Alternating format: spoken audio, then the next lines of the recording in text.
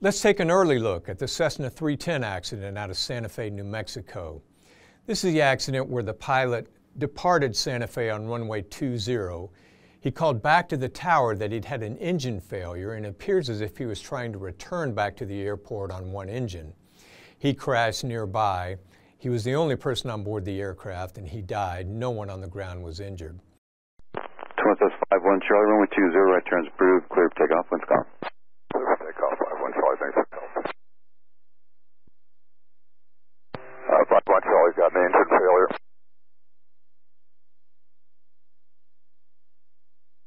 And say again? 5-1 Charlie's got an engine failure. 5-1 Charlie, Roger, you make the left turn to runway 33? Roger, 5-1 Charlie. 5-1 Charlie, you're clear to land any runway you want, the winds are calm. 5-1 Charlie, I'm going to get some altitude.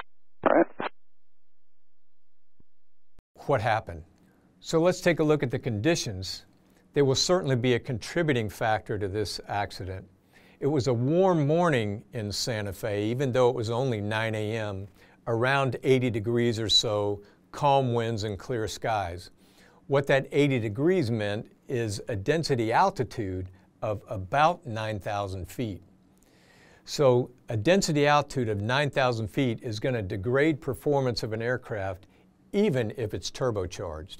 And this one was. This was a Cessna T310R, which is the turbocharged engines.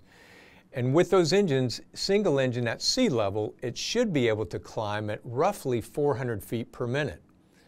The single engine service ceiling is 17,200 feet, which means the aircraft on a single engine should have been able to climb at 50 feet per minute up to 17,200.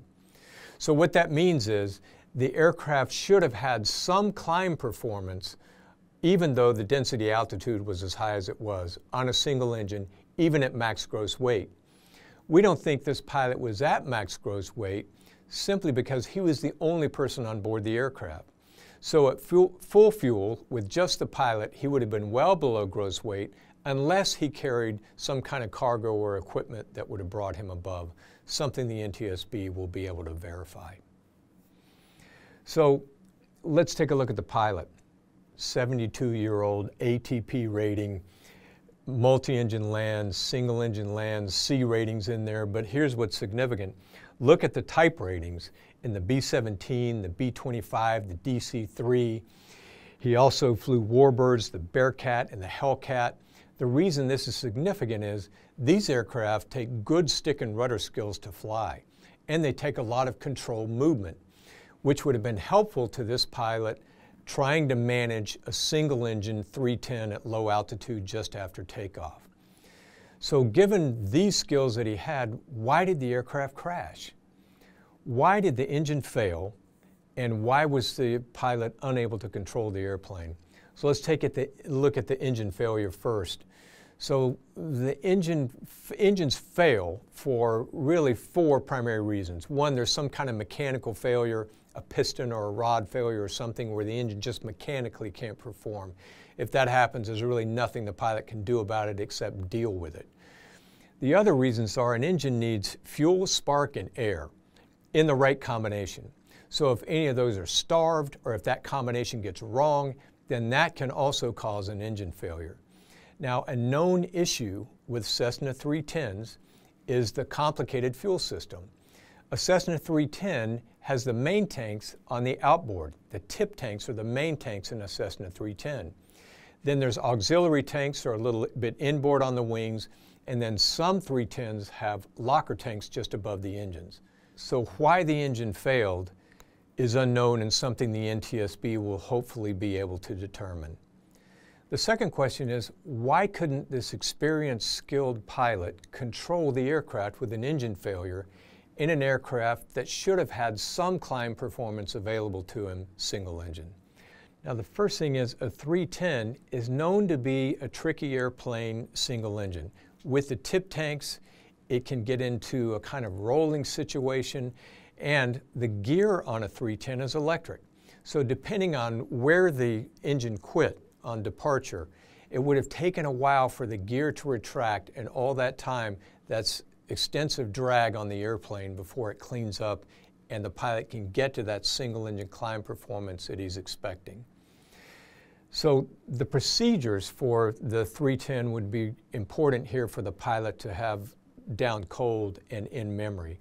And that is as soon as he experienced the engine failure, to recognize the situation, to verify it, and then to act accordingly with a checklist, which is clean the aircraft up, get the pitch down to accelerate uh, the airspeed, get the prop feathered, and now you've actually, ideally, got to bank slightly into the operative engine.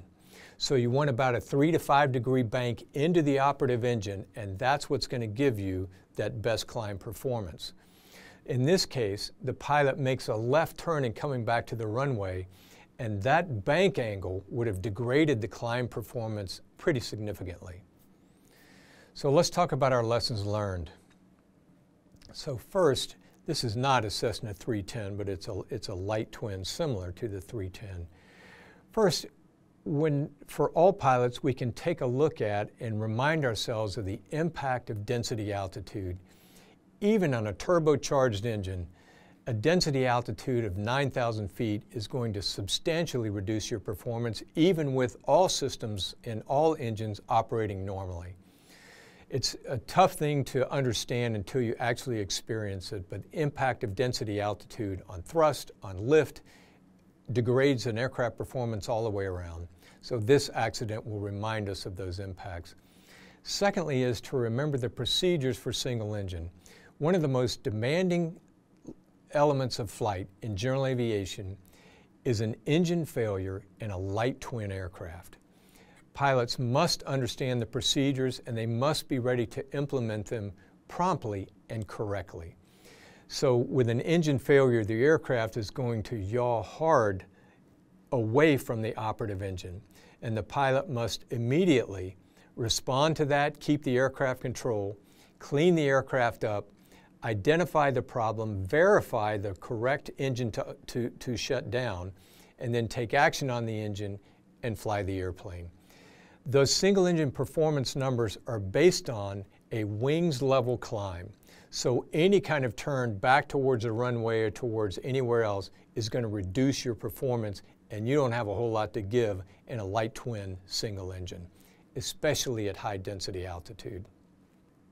And a final lesson learned that may come out of this accident for light twin pilots is to recognize there may be situations where your operative engine can't provide any kind of climb performance and perhaps may not even be able to provide level flight performance.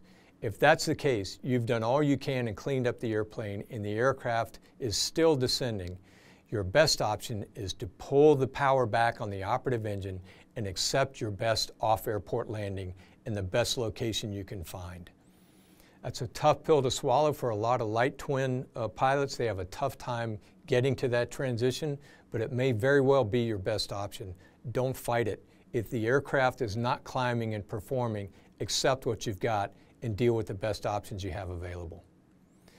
We'll update you on this uh, accident as more details come. You can find us at airsafetyinstitute.org or on our YouTube channel. Thanks for watching.